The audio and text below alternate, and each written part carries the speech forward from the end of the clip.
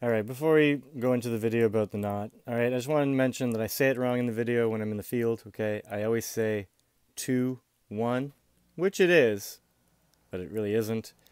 It's more of a 4, 2, okay? That's more correct because of, hey kitty kitty, what's up? Because of this, okay? Because it's going to go from 8, 4, 2, 1 to start over 1 5 7 8 4 2 1 5 7 8 4 2 1 with your 3969 3969 3969 clock you know the vortex math and the knot or the S that is not yet formed one with the diamond of the Superman logo you know.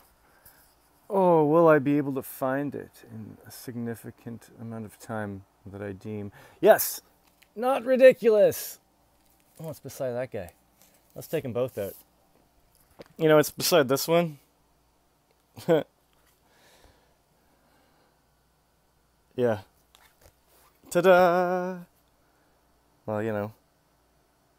Alright, so that's the knot in matrix. Okay, that would be the 8.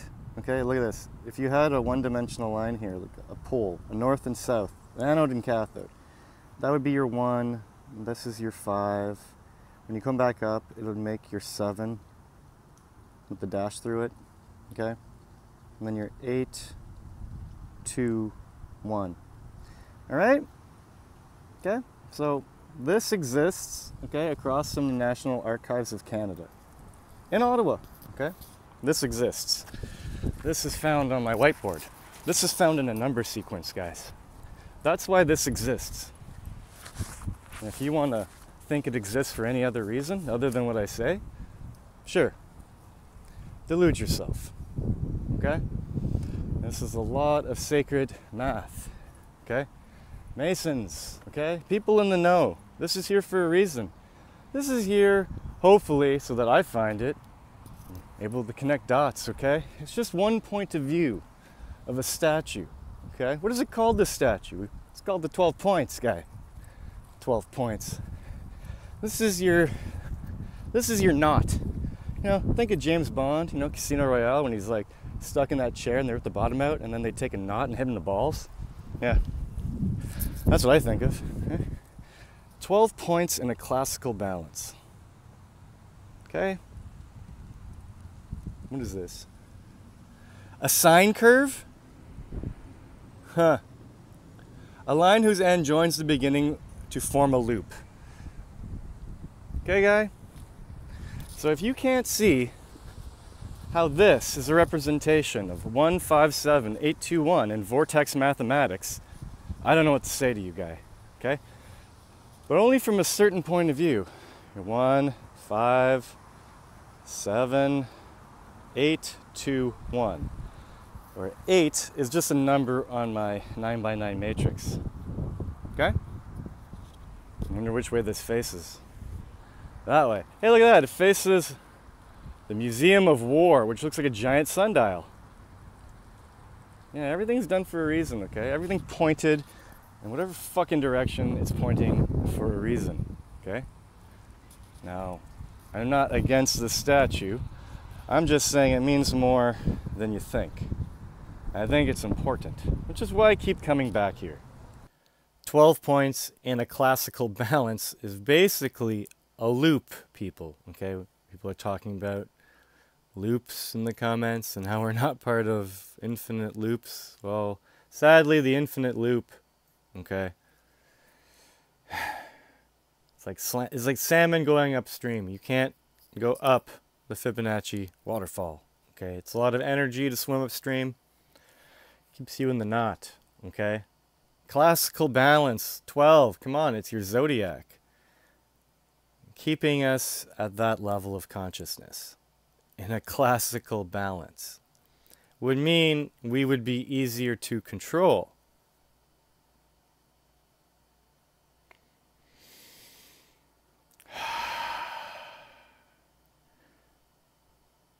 What's funny is when the when you're following the path in which energy traverses, okay? you need to know how to how to collapse the 9 by 9 matrix, okay? into a 5 by 9 and a 5 by 9 centered on time. But to do that, to go from 1 of 7 of 13 of 110 to the other side, which has a, I guess, a 1 of 174, 100 of 500, you know, you need to make a rainbow bridge. Now the visual light spectrum has seven peaks and or valleys. the infrared has four, the ultraviolet has three. The ultraviolet is more condensed, like let's say your root system of a plant would be. And the infrared gets straighter the further you go away until eventually it becomes flat. Because light can bend in air. And your eyes are the shape that they need to be in order for your brain to translate the analog to digital signal. That makes you think that you live on a flatness plane. Rainbows have seven colors. There are seven chakras. Okay. You got to make the rainbow bridge of consciousness, of that leap. To literally fold the page, guy. Okay? I can't really see right now, but you got to fold the page because once you get to the bottom here, okay, once you go through the knot and get, uh, once you get to the eight, and then you you know, you start going down, you make your whatever, one, five, whatever, blah, blah, blah nonsense, and you're going around the infinite loop of classical balance, 12 points. Once you get to here, you can choose to go back to 8. Because remember, this black circle that I circled is not really there. It is there, but it's not part of what I drew.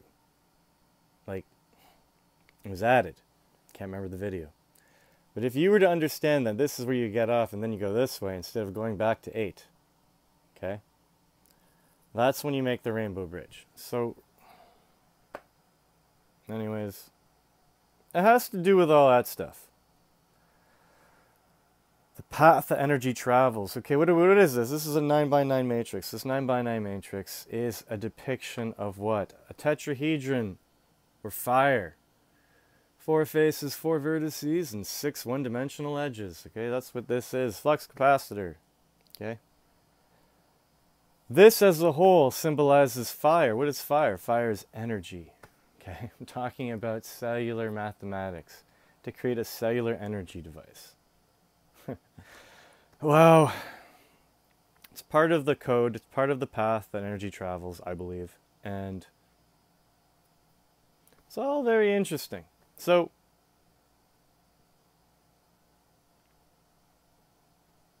I don't know. So what I want to talk about? I want to talk about this. I want to talk about creation of this. I want to talk about the, I don't know, synchronicities with the creation of this. And I don't know, James Bond and random things and songs and movies. It doesn't really matter. You can pick a subject. We can probably decode it on the fly or give it our all. But how this is the five elements or whatever, okay? Like it's these guys. Okay? These are needed. You need to know these things when you're, I believe, constructing a model. Like, you got to 3D print some crazy stuff here, guy.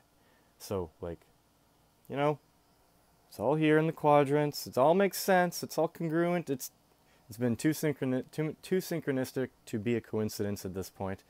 I'm going to share the synchronicities. I'm going to share the coincidences and the derivations. And I've made a lot of assumptions, but I've been able to back up my assumptions to the point where finally you start off with a 69, you make a 1 by 2. Okay, but it's only made there in the corner. But after a while, when you find Armageddon and you find all this crazy stuff and the stuff that energy travels and the path and whatnot, and, and all the you know letters of our alphabet in English and stuff, and then you find the capstone, and then you're able to break the capstone down to one by twos. Well, that pretty much allows you the freedom to break down every one by three that you see in here into a one by two. Okay, to a bunch of one by twos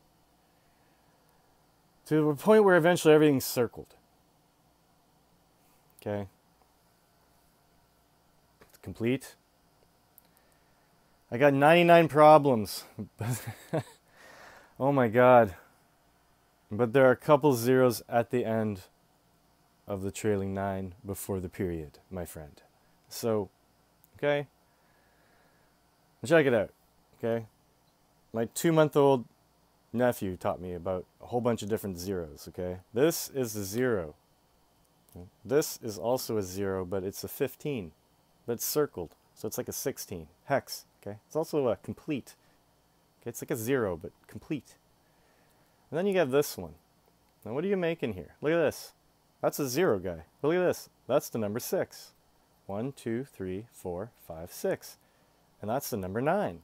That's a 69. A 69 is also a type of zero. Interesting. And this one. It's like a 1 by 2 and a 1 by 2. Look at that. There's a 1 by 2 by 1 by 2 making a circle. Huh. Of 1 by 2s. Interesting. All right. How about this one? Oh, if I go all the way over here, that's also a 0. You know what that 0 means, guy? Look at that. What's that? What's that number? What is that?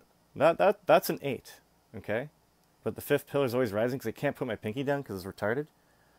So what's an 8 doing with a 1? Hey, look at 81.